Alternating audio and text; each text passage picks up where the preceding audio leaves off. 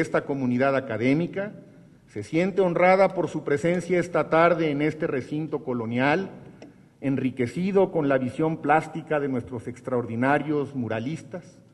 en un acto de justicia, de reconocimiento, en el que la memoria de Isidro Favela ha sido otra vez, y como siempre, un símbolo de la relación fraternal entre nuestros pueblos. Por mi raza hablará el Espíritu.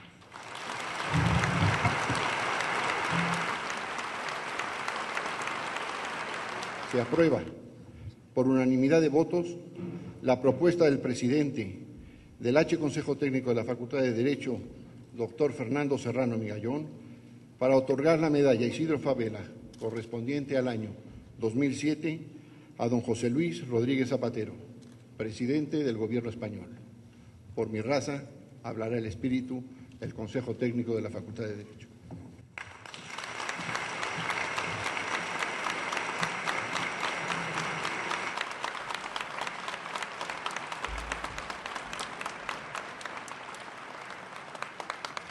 A continuación,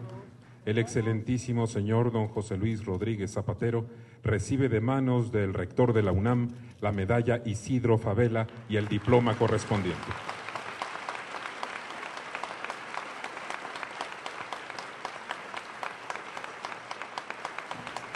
Es un gran honor para mí poder aceptar la medalla Isidro Favela, que generosamente me otorga la Facultad de Derecho de la Universidad Autónoma de México. Una universidad tan apreciada y tan querida por el pensamiento jurídico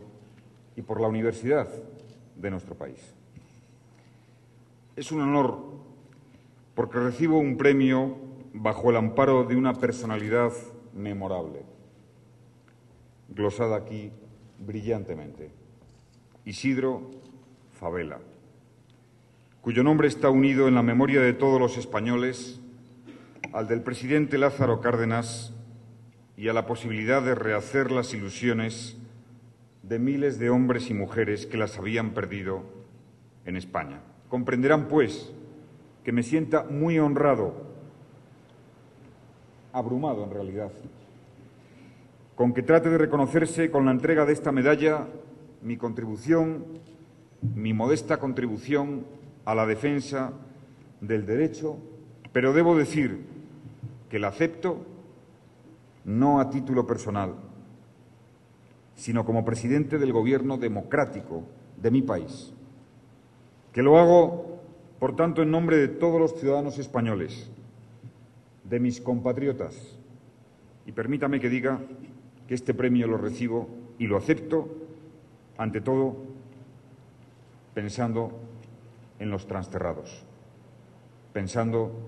en los hombres y mujeres que tuvieron el destino del exilio,